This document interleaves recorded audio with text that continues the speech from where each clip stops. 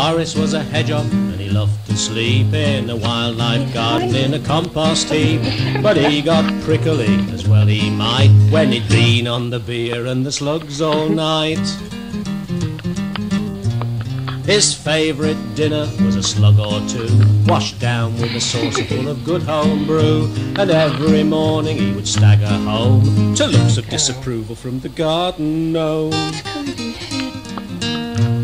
His midnight tippling got worse each year. Horace was addicted to his slug trap beer. But all that changed one moonlit night when our friend Horace got an awful fright. At the crack of dawn, when he was half awake, Horace was attacked by a long green snake.